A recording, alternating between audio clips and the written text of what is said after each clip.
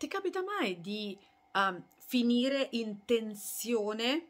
Non finire, iniziare un respiro con la tensione, cioè devi prendere un respiro rapido e trovarti a fare una roba del genere. E visto che, che lavoro tra la clavicola, il collo, le clavicole, il collo, è, diventa questa cosa qua, ok? Naturalmente questo ti, ti predispone in maniera assolutamente scorretta a emettere il suono che devi emettere quando canti.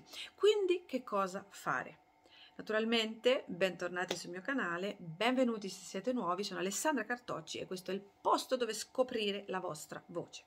Allora, la prima cosa da pensare è che il respiro non sia qualcosa di artificiale che io debba produrre, ma in realtà è un meccanismo estremamente naturale, ovviamente, che se io lascio accadere nel modo più neutro possibile, um, avviene in maniera meravigliosa. Quindi se io semplicemente lascio entrare l'aria, è come se l'aria entrasse proprio boom, facesse pluff dentro il mio corpo, è come se un qualcosa proprio scendesse.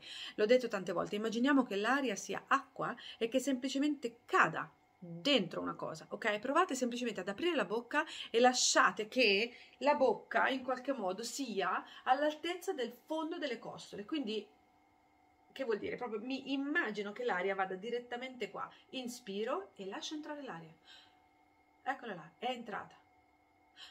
Ok? Naturalmente lo sto facendo in maniera un po' rumorosa perché voi possiate percepire, però meno rumore c'è e meno tensione nella gola. Quindi, eccolo qua è il suono vero e proprio che non c'è dell'aria che entra.